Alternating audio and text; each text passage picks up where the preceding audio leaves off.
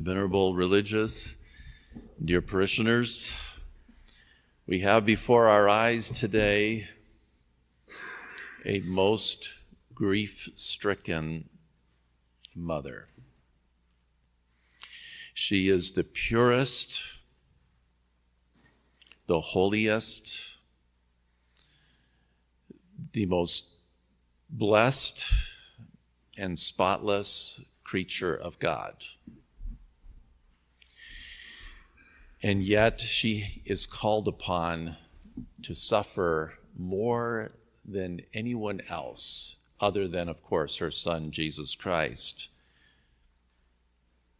And even though Our Lady is in her heavenly glory and has been so for the last nearly 2,000 years, nevertheless, it is entirely correct for us to think of her as sorrowful, to think of her as suffering.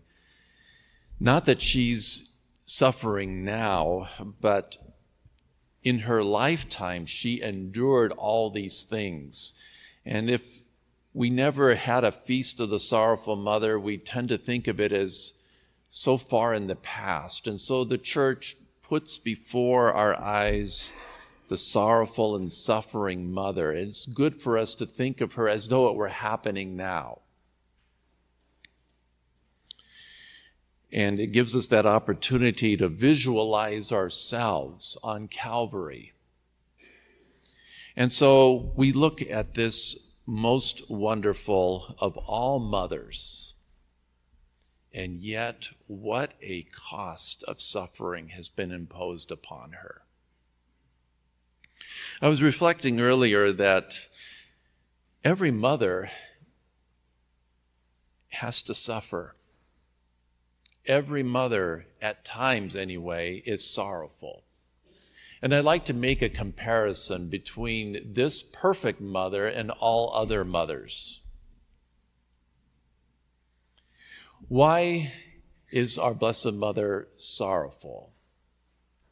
Is it because her child has been in any way sinful, wayward, imperfect? Of course not. Our Blessed Mother is the most perfect mother in that regard, and of course, she has the most perfect child. She could not suffer any sorrow insofar as failure on the part of her child. But all other mothers do have to see their children's imperfection, their children's sinfulness. Their, their children are not perfect.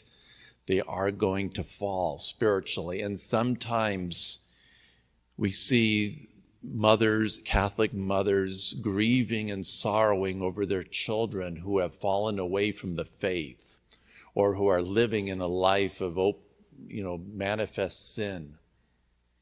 I think of St. Monica the mother of St. Augustine, it crucified her heart to see her son Augustine living such a sinful life for so many years. So mothers do sorrow over their children's spiritual falls. Our Lady didn't over her son Jesus, but remember this, we were adopted on Calvary.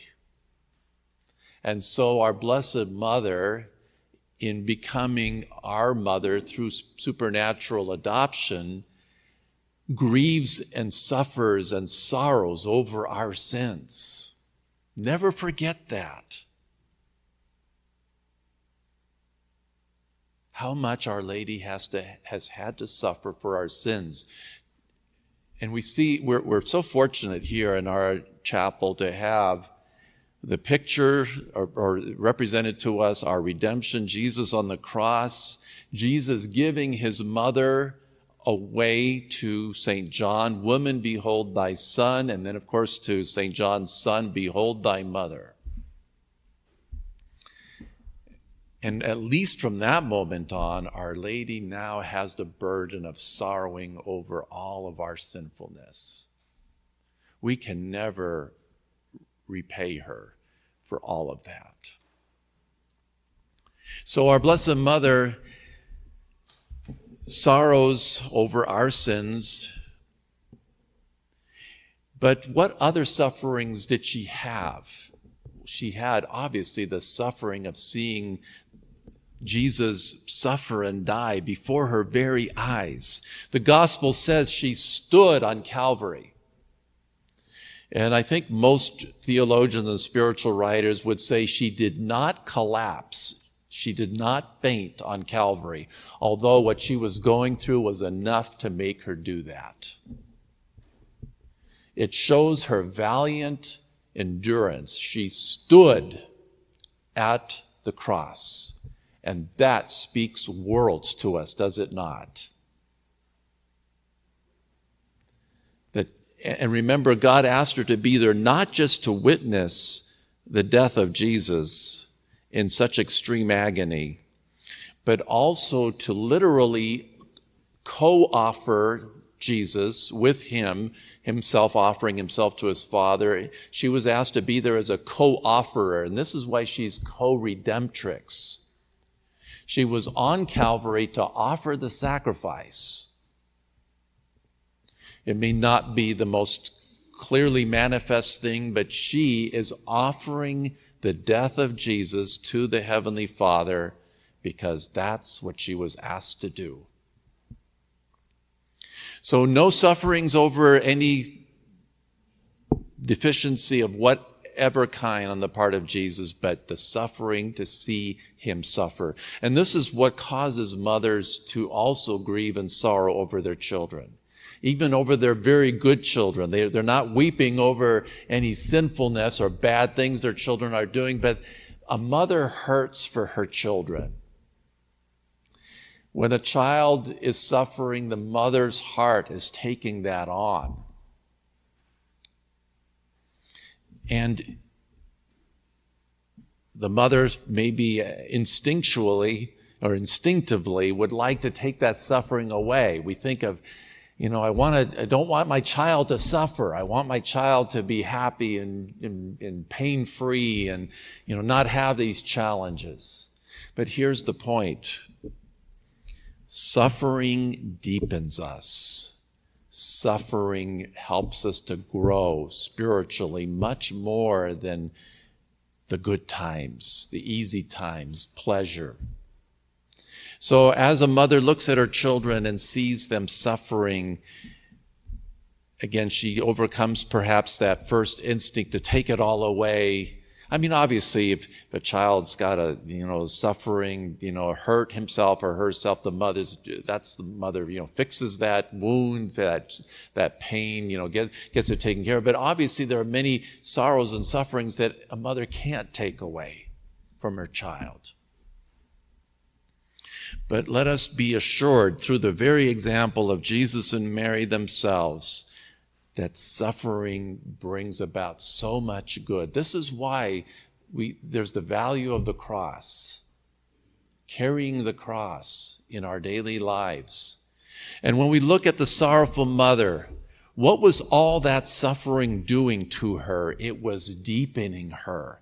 It was making her even greater. God made her so great through so many infused virtues and gifts things that Our Lady did not merit.